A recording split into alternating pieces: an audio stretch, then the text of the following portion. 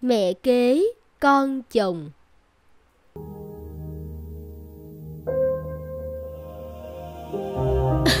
Mình ơi. Ba ơi. Tôi đi rồi. Mình hãy chăm sóc hai con thật tốt. Nhất là thằng Lộc. Nó đã không còn mẹ Giờ lại mất cả cha. Mình yên tâm đi. Tôi sẽ yêu thương con như con đẻ của mình Mình ơi. Ba ơi.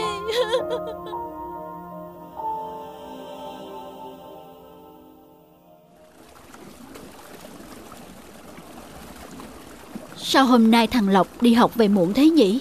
Cô Hiền ơi Cô Hiền Bạn Lộc Bạn Lộc bị xe tông Đang nằm ở trạm xá cấp cứu ạ. À? Sao cơ? Ăn chút cháo đi con Bao giờ chân con mới khỏi hả mẹ? Phải chịu khó ăn vào Thì chân mới mau khỏi. Mẹ nấu cháo chim bồ câu cho con đấy. Wow Chim bồ câu à Cháo mẹ nấu là ngon hết sảy. Anh hai sướng thế Toàn được mẹ nấu món ngon cho ăn. Em có bị ốm đâu mà đòi ăn ngon. Lê, lê. Thôi nào Không được ghen tị với anh hai. Anh bệnh mà con. Mà lần sau Đi đứng phải cẩn thận nghe chưa? Cũng may là chỉ bị gãy chân thôi.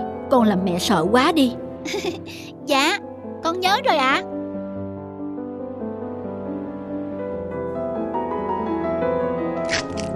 Mẹ ơi Con đi học đây ạ à? Sao không nghỉ thêm vài hôm nữa con Mẹ xin cô giáo rồi Chân cẳng đang còn đau thế cơ mà Nhưng mà con sắp thi học kỳ rồi Nghĩ nhiều quá sợ không thi được mẹ ạ à. Vậy để mẹ cổng con đi Chứ chân của con đã đau Còn đi bộ nữa Thì bao giờ mới khỏi được chứ Thôi Con đi bộ cũng được mà. Đường từ nhà tới trường xa vậy Mẹ làm sao cổng con được? Không sao Mẹ khỏe lắm. Nhưng Con lên đi Kẻo muộn học bây giờ. Mẹ Mẹ tốt với con quá. Sau này lớn lên Nhất định con sẽ hiếu thuận với mẹ. Nói hay lắm Cứ như ông cụ non ấy. Nhiều năm sau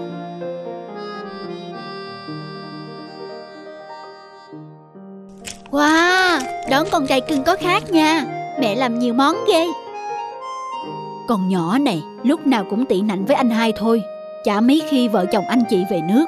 Con đùa thôi mà. Mau đi ra mở cửa đi Vợ chồng anh hai con về đó. Con chào mẹ Con chào mẹ. Hai đứa về rồi à Có mệt không con? Mau lên phòng cất dọn đồ đạc đi Rồi xuống dùng bữa cho nóng. Dạ. Linh ơi Lên mời anh chị xuống ăn cơm đi con Con bé lại chạy đâu rồi không biết. Mai mình mang túi đồ này sang nhà ngoại nha anh. Trong này toàn mỹ phẩm với nước hoa xịn. Chắc mẹ với mấy đứa em em thích lắm. Thế em đã chuẩn bị quà cho mẹ với cái Linh chưa? Hmm, mẹ nào, có phải là mẹ đẻ của anh đâu Mà phải quà cáp gì nhiều? Mấy đời bánh đúc có xương chứ Còn cái Linh trong quê mùa thế Chắc không biết dùng mỹ phẩm đâu. Để mai em dẫn nó đi mua vài bộ quần áo không làm thế được. Anh đã nói với em nhiều lần. Mẹ anh không phải người như thế.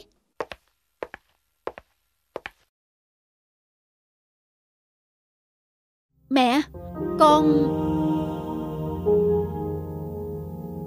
Thôi con, mẹ hiểu mà. Mẹ, con xin lỗi.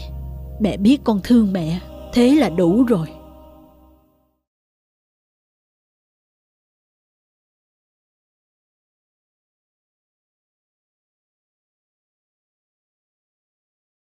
Bánh rán bọc đường.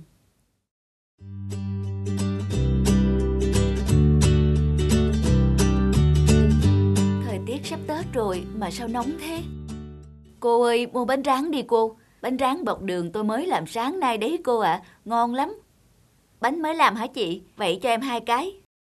Cô ơi cô lấy cả 10 ngàn nhé. 10 ngàn năm chiếc cô ạ. À. Cô yên tâm bánh tôi mới làm ngon lắm. Ừ, Thôi được rồi. Nhanh nhanh lên chị ơi, nắng quá. Anh à Vâng em đến bến xe rồi nè. Vẫn chỗ mọi khi anh nhé. Vâng anh cứ lái xe bình tĩnh. Không sao, em đợi được mà. Em mới mua bánh rán ăn tạm đây rồi.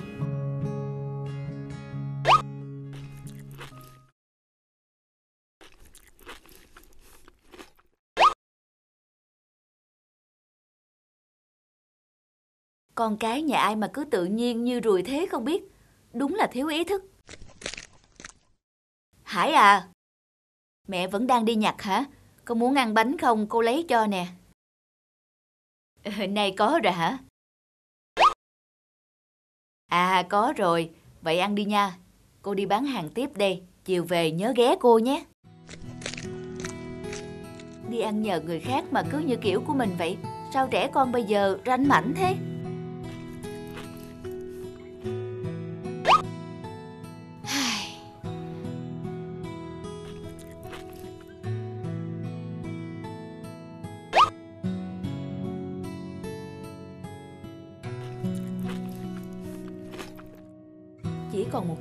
Cùng. Để xem ý thức của nó đến đâu. Nó mà ăn nốt chiếc cuối cùng này Thì mình cũng đến sốc.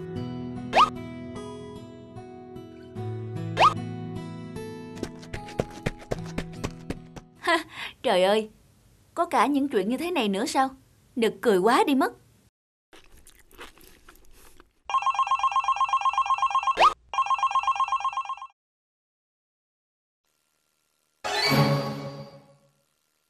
Đây mới là túi bánh của mình.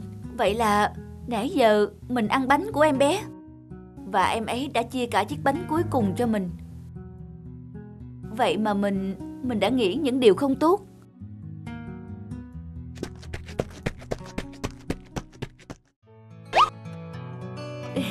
Em à, chị mua thêm bánh nữa rồi này. Chị em mình cùng ăn nhé. Em cảm ơn chị. Chị cũng thích ăn bánh rán bọc đường giống em à. Ngọt lắm đúng không chị? Ừ, ừ ngọt lắm em à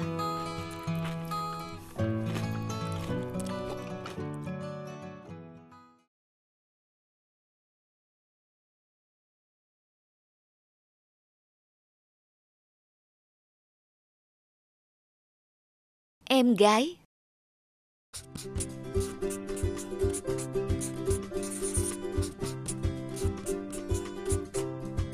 Linh ơi, con xem ai về đây này. Bệnh tình của em hiện tại đã đỡ hơn nhiều rồi. Ba mẹ đưa em về nhà một thời gian, rồi sẽ đi điều trị thêm cho dứt điểm, để em còn có thể sớm quay lại trường đi học nữa. Vậy là hè này em sẽ ở nhà sao ạ? À? Ừ, con nhớ quan tâm đến em nhiều hơn Linh nhé.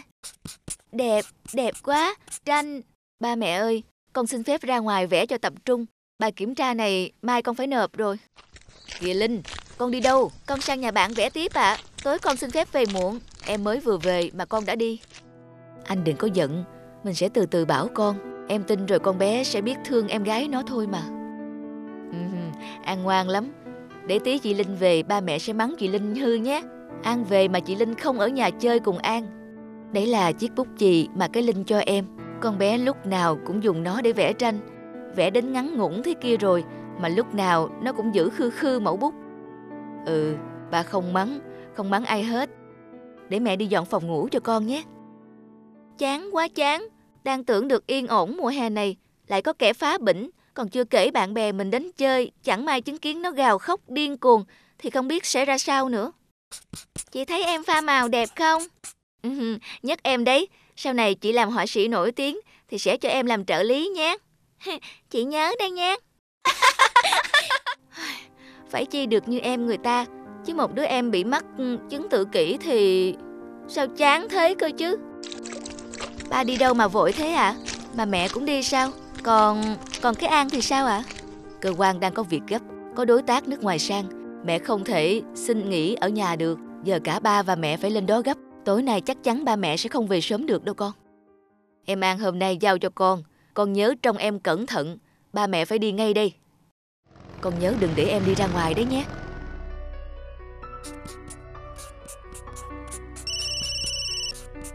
Ra ngoài vẽ chút đi Linh. Nắng đang đẹp lắm đấy. Từ mai là trời mưa cả tuần đấy. Hay là mình cứ khóa cửa lại? Mình khóa cổng ngoài. Khóa cửa trong rồi Nó sẽ không thể ra ngoài được. Đi một tí rồi về chứ có đi lâu đâu. Cháu là Linh đúng không? Đến ngay trước cổng công viên Họa Mi đi. Em gái cháu đang ở đây. Con bé lạ lắm Liên tục la hét và khóc. Trời sao nó ra ngoài được?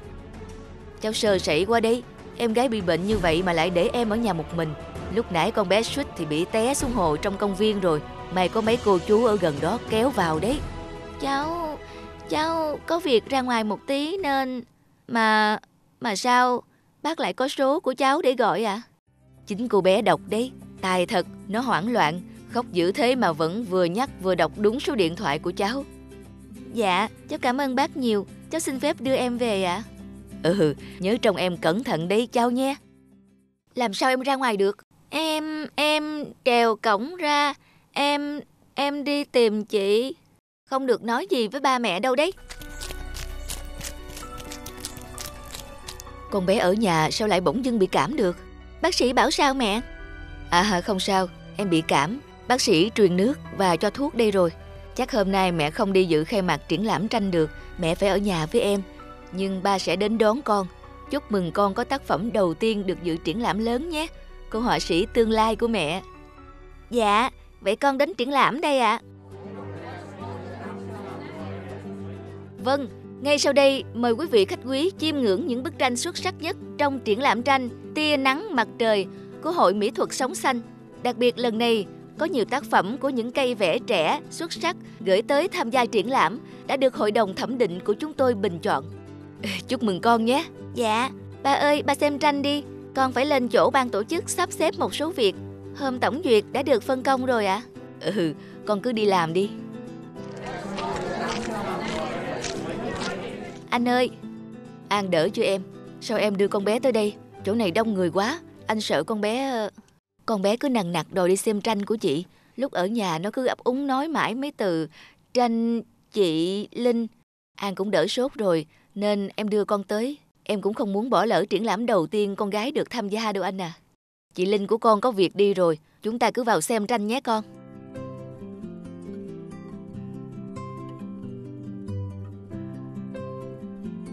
Sao đi một vòng rồi mà không thấy tranh của cái Linh nhà mình nhỉ? Có phòng khác không anh? Tất cả đều treo ở phòng lớn này hết mà. Ừ nhỉ, anh cũng không thấy. An ơi, đi với ba mẹ tìm tranh của chị Linh nhé con. An ngoan nhé. Đây là tranh của chị. Chị quên ký tên trên bức tranh. Xuống phòng của em đi, đừng có đứng đây nghịch. Em chỉ xem... Muốn xem thì đứng ra tích đằng xa kia, đừng có lại gần đây. Chị, chị vẽ An phải không? Không, ai mà thèm vẽ, cứ ấp a ấp úng mãi. Có ra đằng kia hay là đi xuống nhà đây? Bức tranh này mình vẽ lâu lắm rồi mà An vẫn còn nhớ sao? Em thích tranh con vẽ lắm đấy, nhưng ba cũng không nghĩ em lại nhớ rõ tranh của con đến thế. Không chỉ tranh đâu, em còn đòi mẹ dạy học thuộc số điện thoại của con khi mẹ dạy cho em học số của ba mẹ để phòng khi bất trắc. Em đi lạc hay sao đó? Thế là con bé đòi học bằng được cả số của con. Em luôn coi con là người quan trọng với nó, Linh à. Em rất ít nói, nhưng hệ nó nói ra điều gì thì đều là liên quan tới con hết. Thì ra là thế, thảo nào hôm ở công viên... Mình... mình tệ quá. Mình để em đi tìm mình. Em đã tìm mình, tìm người chị gái vô tâm của nó, bao nhiêu lâu nay rồi. Sao chị lại khóc? Cô bé tóc bím xinh quá. Chị xin lỗi, em gái của chị. Chị sẽ vẽ em còn xinh hơn cô bé ấy nhiều cơ.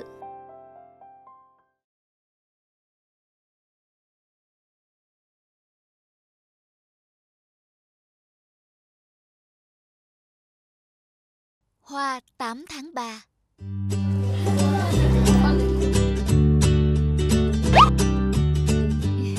Cảm ơn anh Em đã có một ngày mùng 8 tháng 3 rất vui. Lát ăn xong Anh sẽ dẫn em tới một quán cà phê mới siêu đẹp. Lại có cả ban nhạc sống nữa. Tuyệt lắm. Ôi tuyệt quá. Alo Mẹ à Con đây. Sao giờ này vẫn chưa về con? Ba mẹ đang chờ cơm đó. Ừ chết. Con quên mất không báo. Hôm nay con không về ăn tối đâu. Ba mẹ cứ ăn trước đi nhé Ờ vậy à Ừ, vậy nhớ về sớm nha con. Dạ. Mình ăn tiếp đi em. Em thấy đồ ăn ở đây được không? dạ, đồ ăn rất ngon ạ. À.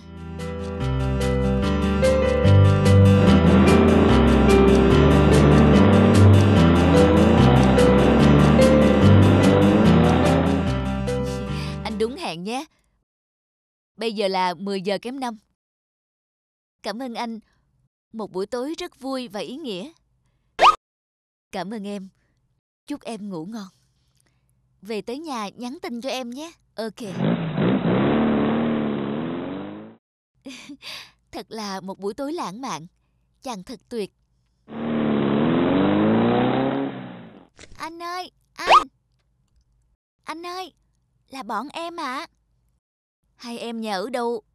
Sao muộn thế này vẫn còn đứng ngoài đường? Dạ, nhà tụi em ở cuối ngách này.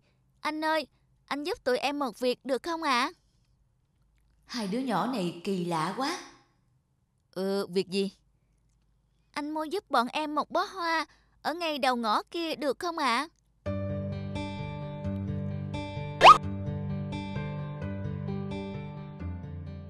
Các em mua hoa làm gì? Mà sao các em không tự ra mua? Dạ, không làm gì cả. Anh chỉ cần ra mua hoa thôi ạ. À. Bọn em không ra được vì vì vì người ngồi bắn hoa đấy là mẹ bọn em. Sao? Cô bắn hoa kia là mẹ bọn em? Dạ, muộn rồi mà mẹ em vẫn chưa chịu về. Nếu có ai mua nốt bó hoa ấy, mẹ em sẽ được về sớm với bọn em. Vậy nên bọn em mới nhờ anh giúp. Ờ, thì ra là thế. Hôm nay là ngày mùng 8 tháng 3, em làm quà tặng mẹ rồi. Em vẽ tặng mẹ một bức tranh lúc mẹ ở vườn cắt hoa đẹp lắm. Khi mẹ về em sẽ tặng cho mẹ. Anh, bọn em đứng chờ ở đây lâu lắm rồi mà chưa có người mua. Anh giúp bọn em nhé. Đây là tiền bọn em tiết kiệm được mà. À, ừ. Với cả hôm nay là mùng 8 tháng 3, hai chị em em đã làm một đĩa bánh rất là ngon, muốn mẹ về ăn. Nhưng mẹ cứ ngồi đó bắn mãi không về. Trời ơi, hai đứa bé này mới nhỏ xíu mà đã biết thương mẹ đến vậy rồi. Còn mình thì chỉ biết nghĩ cho bản thân. Thậm chí còn chưa nghĩ tới chuyện tặng hoa cho mẹ ngày mùng 8 tháng 3 nữa. Anh ơi, anh không thể giúp bọn em được à? Ờ, ờ, may quá. Anh đang định mua hoa tặng mẹ. Anh sẽ ra mua nốt của mẹ em bó hoa cuối cùng. Còn tiền này cất đi để tiết kiệm mua sách vở nhé. Thật thế à anh? Ừ, ừ. Hay quá. Chị ơi, thế là hôm nay mẹ bán hết hoa rồi. Chắc mẹ vui lắm. Đúng đấy, đĩa bánh mình làm cho mẹ vẫn còn nóng. Mẹ về bây giờ chắc kịp đấy. Thôi, bây giờ hai đứa mau chạy về nhà chuẩn bị quà cho mẹ đi nào Anh sẽ ra mua hoa bây giờ Chỉ khoảng 5 phút nữa là mẹ các em sẽ về với tụi em đấy Vâng ạ. Tụi em cảm ơn anh. Cảm ơn anh. Anh thật tốt bụng. Em chào anh. Cảm ơn hai em. Cảm ơn hai em rất nhiều.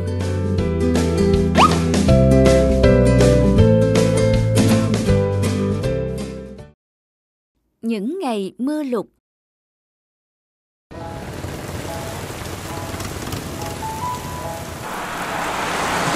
kiểu gì không biết. Long ơi, Mở cửa cho mẹ.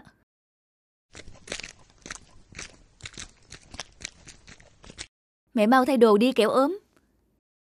Mưa mãi thế này, Không biết chừng nào mới hết ngập. Lội nước nhiều là chân mẹ lại đau nhất. Lại thấp khớp hả mẹ? Từ mai mẹ để con đi chợ bán hàng cho. Con cứ lo học cho tốt. Con trai biết cái gì bán buôn mà đi. Xong, vậy là có cái để đưa mẹ đi chợ. Mưa ngớt rồi, chắc mấy bữa là hết ngập, con đóng thuyền làm gì cho mất công. Con trai của mẹ là sinh viên cơ khí cơ mà. Cái thuyền này chỉ là chuyện nhỏ, cứ mấy bữa lại mưa là ngập, thuyền này chắc còn dùng nhiều đó mẹ. Bác Tân ơi, bác lên đây cháu Long nó chở về nhà, đỡ phải lội nước. À vâng, may quá, cảm ơn cô. Đi đứng kiểu gì không biết. Nước ngập thế này mà cứ phóng âm âm mà. Họ tận dụng nước ngập mở dịch vụ chở người. Chở xe đấy Mấy chục ngàn một người. Thêm xe máy nữa phải năm chục ngàn chứ chả chơi. Được nhiều vậy cơ ạ? À? Đúng là giờ Cái gì người ta cũng kiếm tiền được bác nhỉ? Thì có cầu ắt sẽ có cung thôi. Mất vài chục ngàn qua chỗ ngập nước cho xong chứ hỏng xe. Chết máy lại mất việc cũng quá tội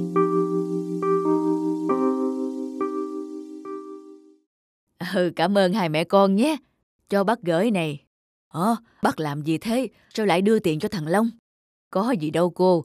Hôm nay tôi đã định thuê xe tải để chở qua chỗ ngập rồi. Nếu mà đi xe tải á, thì đã mất mấy chục ngàn rồi. Cái bác này, tiện một công mẹ con em chở bác đi cùng thôi. Cái thuyền cháu nó tự đóng để em đi lại cho đỡ vất vả. Có phải làm dịch vụ gì đâu mà tiền với nông chứ bác. Gọi là tôi cho cháu, Long nhỉ. Mất bao công sức mới làm được cái thuyền này chứ không à. Cái bác này rõ là, Mà sao con lại nhận tiền của bác ấy hả Long? Chỗ hàng xóm láng giềng, Mấy khi có chuyện nhờ nhau. Tại bác ấy cứ dúi vào tay con đấy chứ mẹ. Mà con thấy bác ấy nói cũng có lý mà.